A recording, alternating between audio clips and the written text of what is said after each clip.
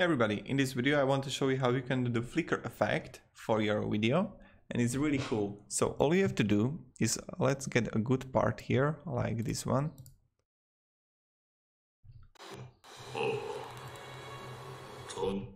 And let's edit it. So now I will uh, go to generators in effects library generators, take solid color, paste it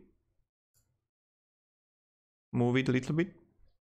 And now go like this.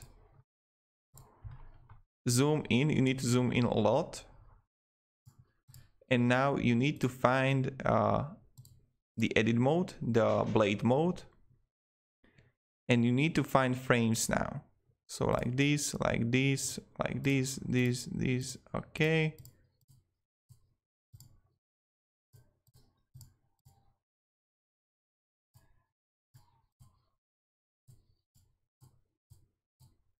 You need to do this for a whole time. It's a little bit time consuming, but it's alright, I think.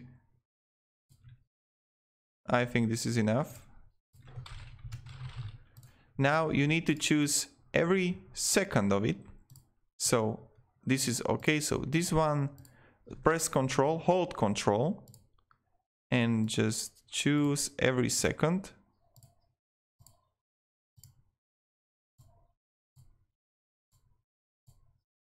All right.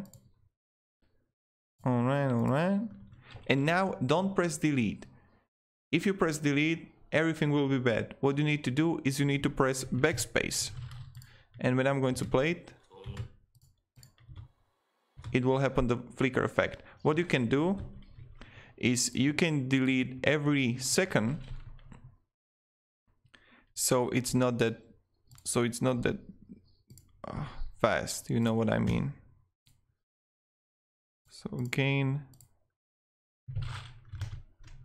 like that, like that, like that, like that, and like that. It's all right. And now let's see. Of course, you need uh, many of them, so the effect is much more effective. And it's kind of it. Thank you, all, everybody, and goodbye.